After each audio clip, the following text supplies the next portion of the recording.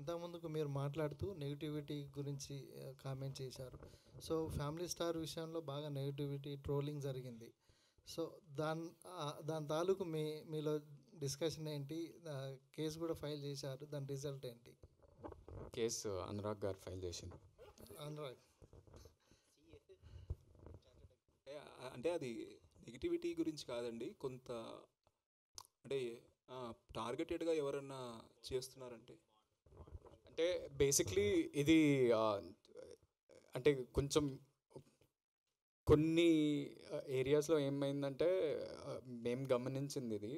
టార్గెటెడ్గా అంటే ఒక ఇప్పుడు ఎవరన్నా ఒకరు సొంతంగా వాళ్ళ మనసులో అన్నది బయటికి చెప్పడం అనేది దాంట్లో తప్పలేదు కానీ ఒక గ్రూప్గా చాలామంది ఓ ట్రెండ్లు నడిపి నడిపించడం కానీ ఆ సినిమాని అటాక్ చేసి ఇక ఫర్ ఎగ్జాంపుల్ సినిమా రిలీజ్ అవ్వకముందే ఒక ఫార్టీ ఎయిట్ అవర్స్ ముందు నుంచే యూట్యూబ్లో తమ్నేల్స్ తోటి వేరే సినిమాలు నెగటివ్ రివ్యూస్ ఇట్లా వేరే ఇప్పుడున్న సినిమాకి అటాచ్ చేసి పాత సినిమాలవి పెట్టేసి అంటే జనాల్ని కన్ఫ్యూజ్ చేసి ఒక ట్రేడ్ని కానీ బిజినెస్ని కానీ ప్రొడ్యూసర్స్ని కానీ భయపెట్టియాలని ఒక పర్టికులర్ గ్రూప్ చేస్తుండ్రు. అది ఏంటి అసలు ఎందుకు అనేది only cyber cell and all these guys can help us this is not about cinema చూసి మీరు నెగిటివ్గా మాట్లాడద్దు అనేది కాదు. అది మనకి that we have complete freedom of right to speak about a particular film కానీ ఈ టార్గెటెడ్ అటాక్స్ ఎందుకు జరుగుతున్నాయి? మన ఇన్ మన ఇండస్ట్రీని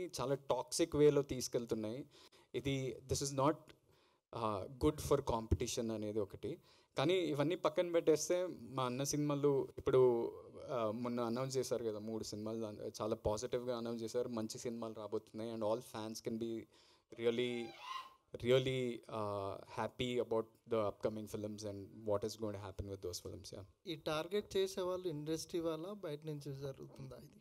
మనకు తెలిస్తే అంటే మీ అబ్జర్వేషన్ మీ పోలీస్ వాళ్ళ దగ్గరికి ఎందుకు వెళ్తాం? మనకు తెలిస్తే అవన్నీ యా థ్యాంక్ యూ అండి thank you so much thank you Uday గారు థ్యాంక్ యూ వంశీ గారు థ్యాంక్ యూ అనురాగ్ గారు అండ్ నయన్ గారికి ఆనంద్ గారికి ఇమాన్యుయల్ గారికి అండ్ హ్యావర్ గారికి థ్యాంక్ యూ